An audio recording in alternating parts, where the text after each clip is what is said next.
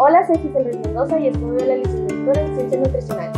El día de hoy les voy a enseñar cómo hacer una comida nutritiva. El platillo que vamos a hacer es tostadas de atún ahumado. Los ingredientes que vamos a ocupar son 200 gramos de atún ahumado, 2 tomates, media cebolla picada, un chile verde, sal y pimienta al gusto, repollo al gusto. Agregamos 2 cucharadas de aceite,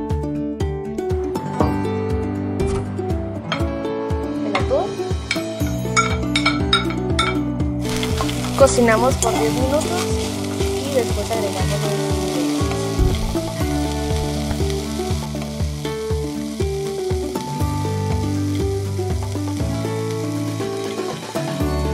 Una vez ya deshidratado el chile, tomate y cebolla, es momento de agregar el repollo.